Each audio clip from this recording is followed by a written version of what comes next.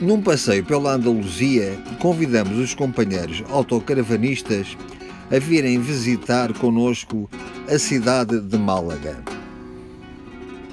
Estacionamos a autocaravana no parque do Carrefour que tem área de serviço Norte 36 41 22 Oeste 4 27 35 Vamos sair pela direita e encontramos junto ao Burger King a paragem do autocarro número 31 que em 20 minutos e por 1,30€ nos leva até ao centro da cidade.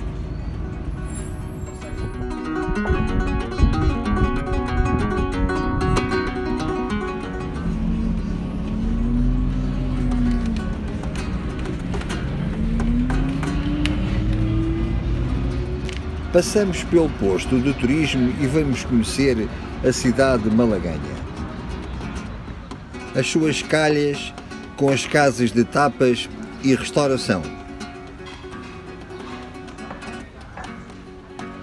As ruínas do circo romano com um centro interpretativo.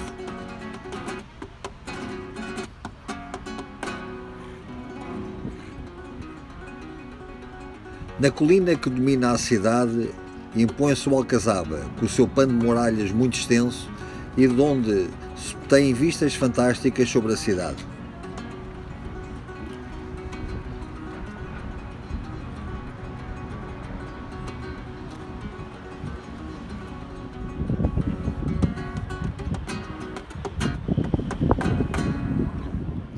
As ruas com o seu mercado tradicional, onde junto à igreja em que foi batizado o Picasso, encontramos a casa do Ultramarino Zoilo, onde podem comprar o famoso salchichão de Málaga, marca Fernandez.